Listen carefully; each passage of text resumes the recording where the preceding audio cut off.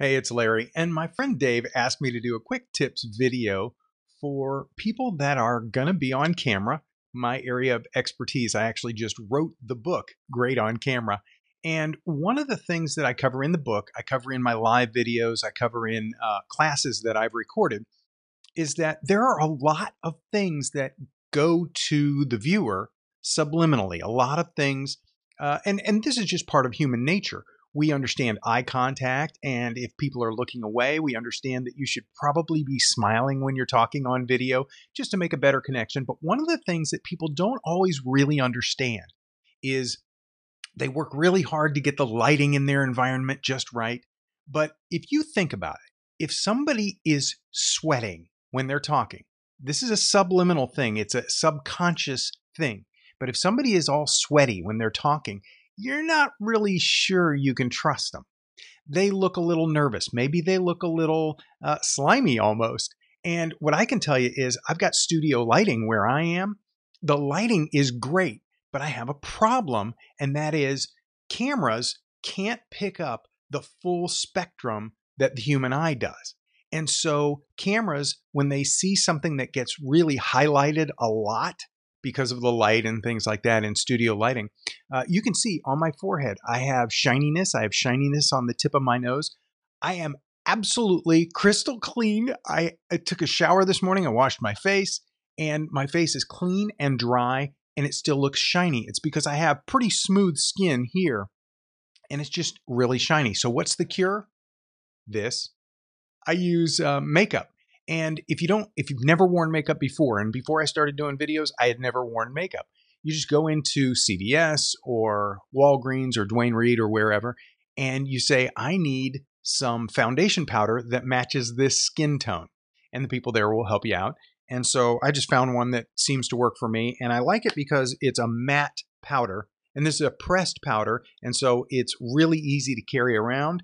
And you put it on with a little pad like this. And so I want to show you what it's like and what the difference is. So look at me right now and you can tell I'm not really trustworthy. That guy, Larry, looks like he's sweating. So watch what I do.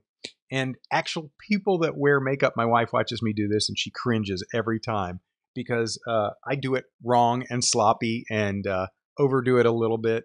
So I'll just show you what works for me. Okay.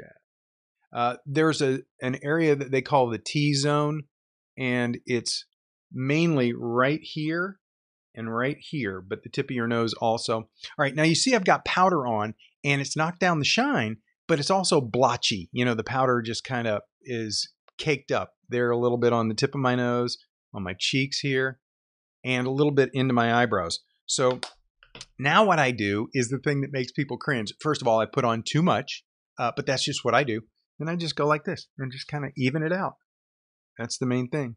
All right, so I've still got a little bit of shine right here. I might need just a little more powder for that part of my uh, head. There we go, and just kind of even it out.